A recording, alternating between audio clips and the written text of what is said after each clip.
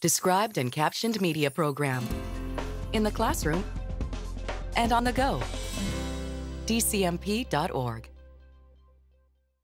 Learning Zone Express presents 54321 plus 8 Countdown to Your Health. Every day we need to count down 5, 4, 3, 2, 1 plus 8.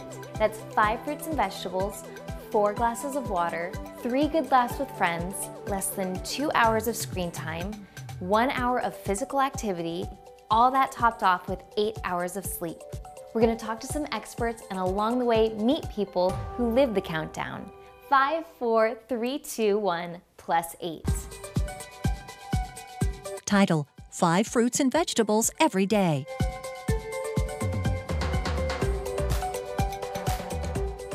We've all been told to eat our fruits and veggies.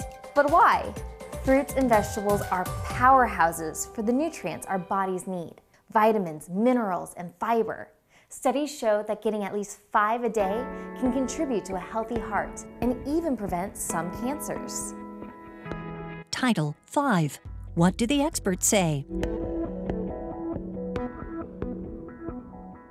My name is Yoshi Ram, and I am a family physician. What that means is I see patients of all ages with all conditions. Vegetables and fruits are actually one of those, uh, one of the foods that you cannot eat too much of. One thing I like to encourage people to do is eat the rainbow each one of those colors, the reds, the oranges, the, the yellows, the greens, the blues, and the purples, they all have different minerals and different vitamins in them. And so the more variety you get, the better off you are. If you don't get enough fruits and vegetables in a day, eh, you run the long-term risk of getting many types of diseases like strokes or, or heart attacks, high cholesterol, becoming overweight, it helps with blood pressure, helps prevent colon cancers, among many other types of cancers also. So those are the reasons long term to keep eating your fruits and vegetables every day.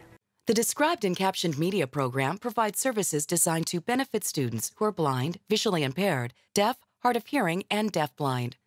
These services include a library of free loan described and captioned educational media, a clearinghouse of information related to educational media access, a gateway to Internet resources related to accessibility, and a set of guidelines for adding descriptions and captions to media. There are no user registration or service fees. Visit the DCMP at dcmp.org. The DCMP is funded by the U.S. Department of Education and administered by the National Association of the Deaf.